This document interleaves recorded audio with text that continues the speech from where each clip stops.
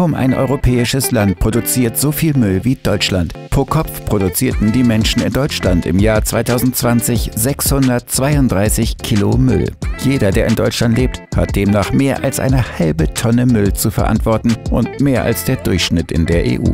Laut aktuellen Zahlen der Statistikbehörde Eurostat produzierten lediglich drei Länder pro Kopf mehr Müll. Dänemark, Luxemburg und Malta.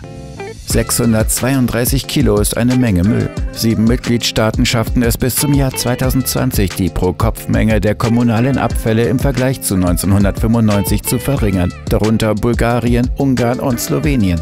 In Deutschland stieg die Pro-Kopf-Müllmenge sogar an, um 67 Kilogramm, verglichen mit 2005.